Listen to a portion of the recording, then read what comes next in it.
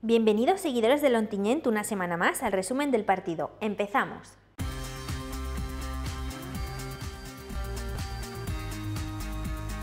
El Ontinyent se medía esta semana contra el Atlético Baleares, un equipo plagado de exjugadores de primera división que está llamado desde el inicio de la temporada a ascender de categoría.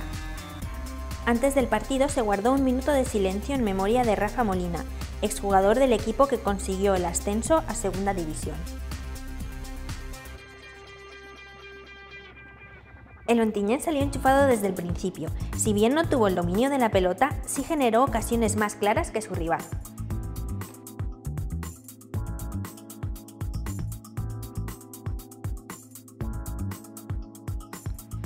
A los 15 minutos, los de Granero recibieron un duro golpe al encajar el primer gol obra de Pereira, a pase de Antoñito, exjugador del Sevilla.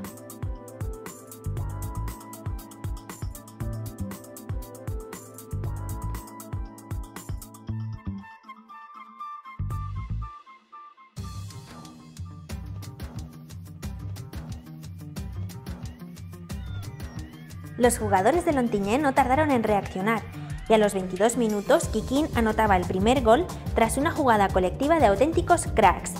El 11 resultó de nuevo providencial como viene siendo habitual en los últimos partidos.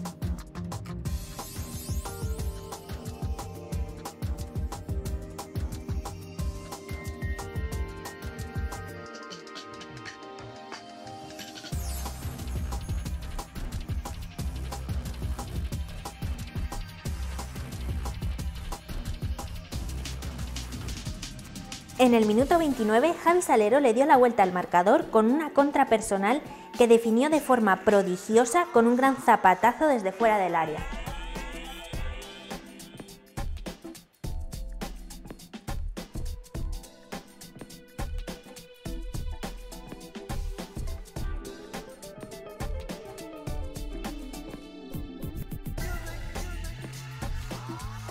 En la celebración del gol quedó patente que Javi Salero es un jugador muy querido por sus compañeros y por la afición.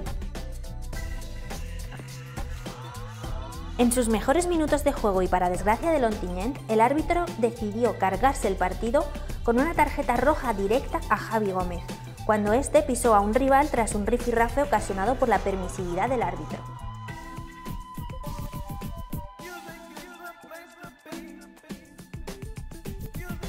Javi Gómez abandonó el campo cabizbajo, consciente de que había metido a su equipo en un buen lío.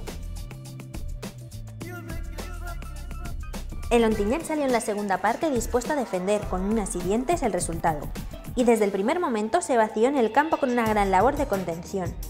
Pero lejos de encerrarse en su área, el equipo fue en busca de un gol que le diera la tranquilidad, e incluso tuvo más ocasiones que su rival. Roberto Granero pidió a sus jugadores en todo momento que actuasen con cabeza y no se dejasen sorprender por el rival. Sin embargo, tras un error de la defensa, Pereira empata el partido nuevamente a pase de Antoñito.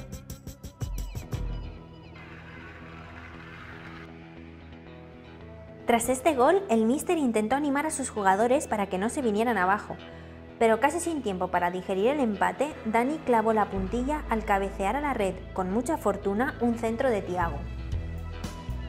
Después del tercer gol, el Ontinyent se encomendó a la épica para empatar el partido, pero el esfuerzo de jugar con uno menos durante toda la segunda parte les pasó factura. Al término del partido, los seguidores del Clariano se quedaron con la duda de qué habría pasado si el árbitro no hubiese expulsado a Javi Gómez al final de la primera parte. Ahora el Lontiñén tendrá que librarse rápidamente de los fantasmas de esta derrota y pensar ya en el siguiente partido en casa del Olympique de Sativa.